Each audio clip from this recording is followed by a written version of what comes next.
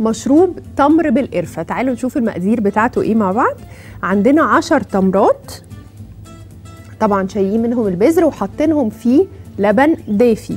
معانا كمان كوبايه ثلاث كوبايات لبن دافي. معانا معلقة كبيرة قرفة باودر فانيلا ومعانا معلقتين شوفان اختياري.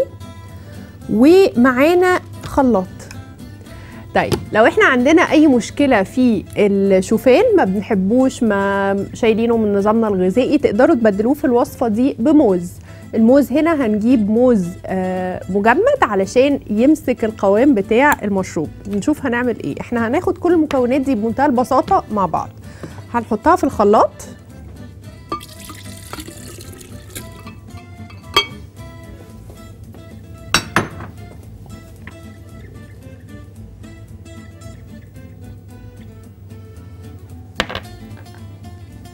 وزي ما قلت عايزين نحط الشوفان أوكي؟ عايزين نشيله من الوصفة نقدر مفيش مشكلة وبكده نبقى بنقلل من سعراتها الحرارية.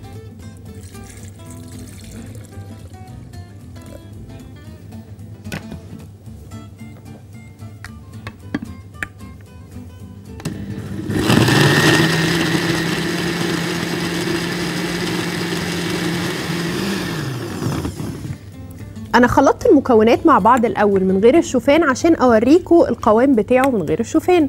وبعدين هنزود دلوقتي الشوفان مع بعض ونشوف. بصوا أنا عايزة اوريكم من جوه. هو بس إيه؟ لبن عادي. التمر آه اتطحن أو اتخلط وبقى هو مصدر السكر بتاعي في الوصفة دي. طب فاكرين لما عملنا مع بعض حلقة التمر؟ اللي هيفطر بقى على تمر ينفع يفطر على المشروب ده كمان؟ لا كده سعرات حرارية مبالغ فيها أو كده نسبة سكر كتيرة. هي آه مصدرها صحي واه مصدرها طبيعي ولكن الاعتدال مطلوب. فلو هاخد تمر هنا مش هاخد تمر بأي وصفة أو حتى سادة. لو هاخد تمر أكله يبقى مش هحطه في ال- المشروب اللي أنا هشربه. فلازم دايما نبقى بنفكر كده إيه باعتدال.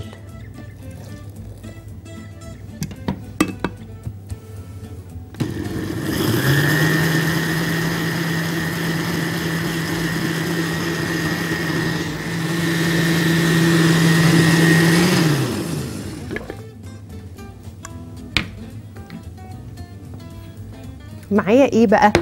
أزايز التقديم. عايزين تحطوا قطع تمر جوه متقطعة تقدروا. بصوا أنا مجهزة معايا هنا قطع تمر. عايزين تحطوا عيدان قرفة عشان اللي بيشرب يبقى فاهم أو اللي هيصب من الإزازة دي يبقى عارف إن ده مشروب فيه قرفة تقدروا برضو.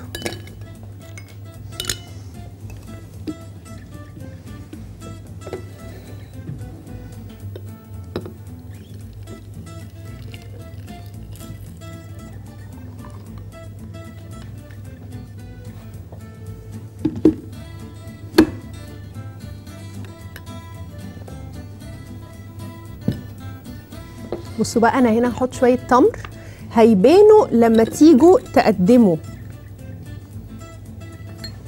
أو هينزلوا سلام لما حد يجي يشربهم. هيبقوا برضو إضافة ظريفة جدا.